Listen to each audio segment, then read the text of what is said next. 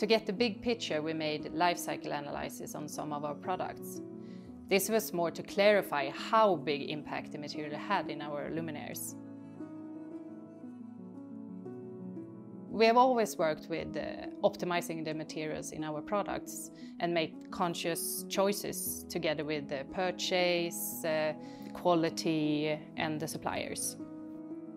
We also want to know the suppliers' suppliers it's more important now because every single detail in the raw material can matter.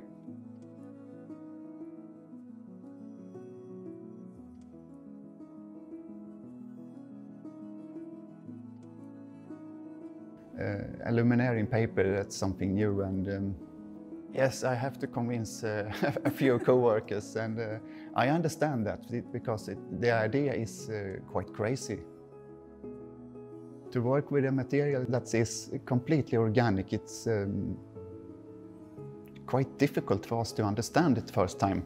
We are used to, to, de to dead material like steel and uh, aluminium.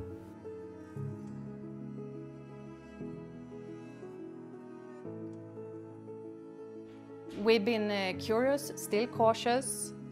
We've made a high range of quality testing on this solid board knowing that we have taken care of all the technical properties that we need to have uh, in the luminaire. We have also learned that the dialogue with the supplier is a key factor. Of course, we learn much when we bring in a new material. We need to understand how the material behaves. And uh, in this case, it's uh, from, uh, from paper to recycling to actually a solid board. And there we had a supplier very helpful to understand the whole chain.